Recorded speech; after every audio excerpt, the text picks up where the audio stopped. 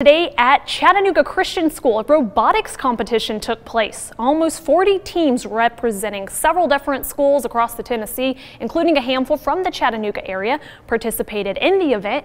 TVA brought their Boston Dynamics robotics dog Spot to show the students how they're using robotics in the working world.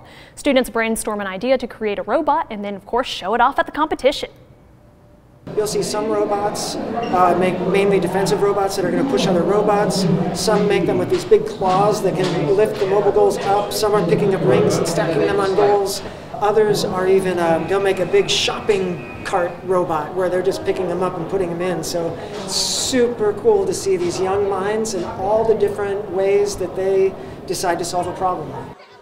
The middle and high school students even program the robots themselves. That is very impressive work by some of these young students.